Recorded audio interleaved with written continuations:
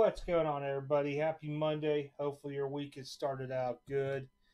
I had a video started earlier during lunch, and my phone ended up ringing, and uh, had to get my order placed with my distributor, so I have to scrap the video. Yeah, we're not. We're gonna pretend that uh, I'm just starting to open this stuff up, but uh, this here is what I got in the mail so far this week. This is stuff in case anybody wasn't tracking BST uh, sports cards opened their website yesterday late uh, late afternoon, early evening, something like that. And we're starting to put cards onto it now. So make sure you guys check it out. The link will be down in the description. And let's go through this. So I was in a break. And actually one of the cards I believe is oh it's no, it's over here. So was in an optic break, serial number wise, and end up hitting a Watson red, and then two Bryan Edwards uh, rookies. Then also hit this is Tom Brady MVP. This is something I'll probably look at grading down the road. And while I'm touching that, I'm going to do a series on grading coming up.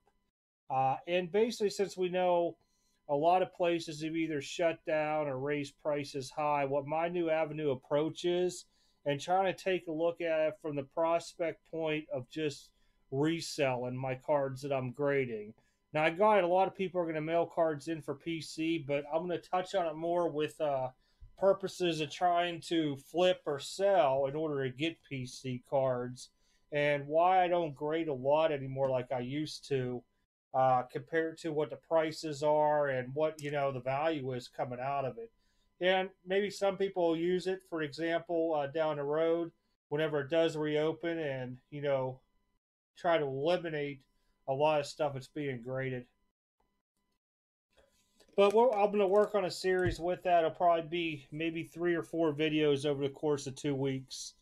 But this Brady here is one of the ones that I would grade just because the price range onto it. If it, should come back at 10. Um, I haven't really taken it out and looked at it yet. Then I hit these in a Raz, and I thought I hit seven, but there's nine. And they did package this up in cardboard, so these were all pulled straight out of sets. The guy, I guess, had like a case or something of them, and they look really, really good and crisp. Um, and the reason why he put them up was he doesn't have the time for grading them. These are 250 a pop as a PSA 10. Nines are a little over 50. So when you take in consideration at the most, I think I had 12 bucks in this or something. It wasn't a whole lot of money. I, it was under 20 bucks. So nine of these to go in, for an example, would run me uh, twenty dollars a card. So is it 180? So I'd be at two hundred dollars in if I got these graded. Granted, we know there's probably going to be an eight or so pop up. We don't even know if there'll be any tens, but if I got tens back out of this, even half, four of them would be a grand. The rest would be all you know, fifty bucks a card. That's that's some profit. That's what I would use to reinvest into it. Uh, then I hit listen to a Raz, which I'm sure uh, I believe Dale was interested in this, so I'll probably hit him up about this. I did see your email from last night. I just haven't had a chance to get around to it yet today because of my job. But this came back uh, 1010. Only had 195 on it for corners, but this is a 2015 contenders playoff ticket. Uh, Melvin Gordon out of 49. My guess is probably about a buck 25 for the card, give or take. I could be off too. But really nice card to have as a 10-10. And he has some upcharge, uh, well, not in Chargers anymore, but uh, with the Broncos this year. Finally, a buddy of mine uh, was running a Raz, and uh, um, basically I got into, and he ended up sending me a video of the card. And this thing here is, like I said, a lot of guys just are moving cards because they can't grade them right now. This is like a perfect candidate for a 10 a downtown Brees from Optic. Raw, these are around 250 ish or, or 225, I think, 250, something like that. So getting a 10 on this would be huge. It would actually be, you know, make some money off it. And that's something I'll look at grading down the road. But that's it pretty much for a mail day today. You guys missed me opening up the packages, of course. Mm, there's only a couple pieces of mail that I know coming in throughout this week.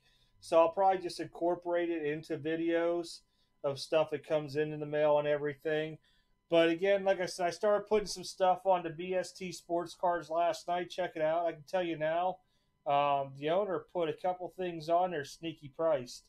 Uh, there, there's some buys on there. I think there's only a couple people listing right now until everybody starts, you know, having some time to get their stuff onto it. But some nice stuff on there. I'll be like I said, switching stuff out between the store and, and uh, his website back and forth, like I normally do, used to do with eBay. So if you don't see it in the website, check out BST Sports Cards for the card.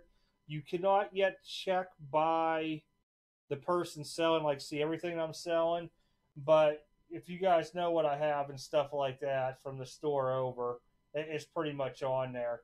But all right, everybody, I do appreciate it. Like I said, I'm to work on a series on grading and stuff like that coming up.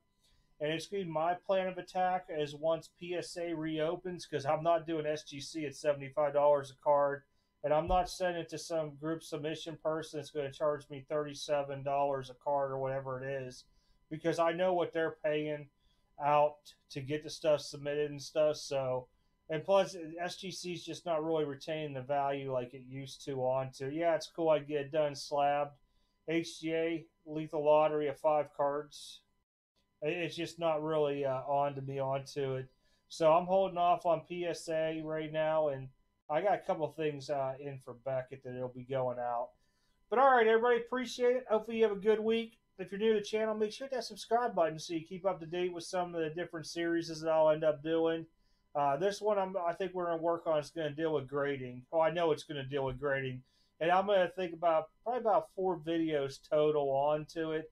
And it's what I'm doing from my lessons learned in the past and doing research onto is the car going to be worth grading? Because a lot of people – that have their bulks and stuff out right now, they'll still make money, but with the new pricing is what I'm going to be basing it off of. Is it going to be worth it in the long run? But all right, everybody, take care. See you guys next video.